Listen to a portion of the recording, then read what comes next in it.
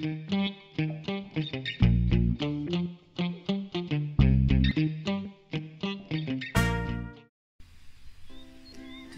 štiriintrideseta lekcija.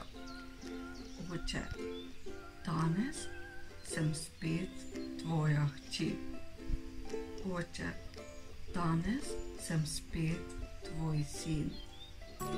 Danes se bova veselila časa, ko sanj o grehu in krivdi ne bo več in bova dosegla sveti mir, ki ga nikoli nisva zapustila.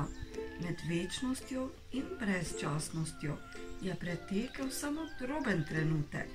Ta interval je bil tako zelo kratek, da ni prišlo do nobene prekinitve kontinuitete, pa tudi ne do preloma v mislih, ki so zavedno enotne kot eno. Nikoli se ni zgodilo nič, kar bi zmotilo mir Boga Očeta in Sina. Danes to sprejemava kot popolnoma resnično. Zahvaljujemo se ti, Oče, da ne moremo izgubiti spomina ne tebe, ne tvoje ljubezni. Prepoznamo svojo varnost in se zahvaljujemo za vse darove, ki si nam jih podelil, za vso ljubečo pomoč, ki smo jo prejeli, pa tudi za tvojo večno potrpežljivost in besedo, ki si nam jo dal, da smo rešeni. 234. lekcija. Oče, danes sem spet tvoja hči. Oče, danes sem spet tvoj sin.